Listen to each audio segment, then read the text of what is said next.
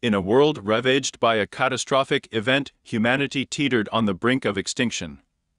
The remnants of society struggled to survive amidst the desolation, where cities lay in ruins and nature reigned in an eerie silence. Amidst this chaos, a small group of survivors forged a path through the desolate landscape, seeking a glimmer of hope in a world gone mad. Their journey was fraught with danger, as they navigated treacherous terrain and encountered unspeakable horrors. The remnants of civilization were nothing but haunting reminders of what once was.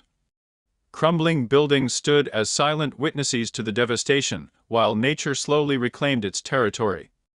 The air was thick with an oppressive silence, broken only by the howling wind and the distant cries of the mutated creatures that now roamed the land.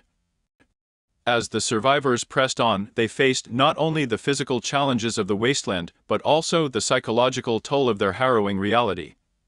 The constant threat of starvation, exposure, and encounters with ruthless scavengers pushed them to their limits. As the survivors pressed on, they faced not only the physical challenges of the wasteland, but also the psychological toll of their harrowing reality.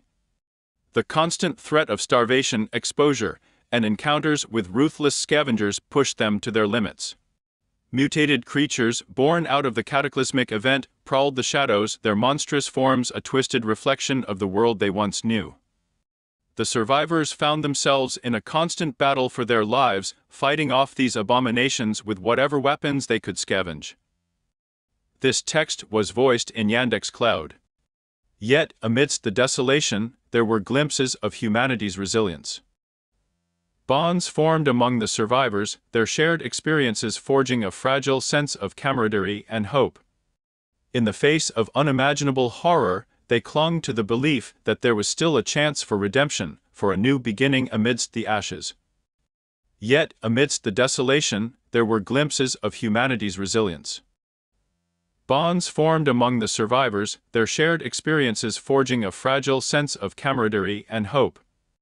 In the face of unimaginable horror, they clung to the belief that there was still a chance for redemption, for a new beginning amidst the ashes.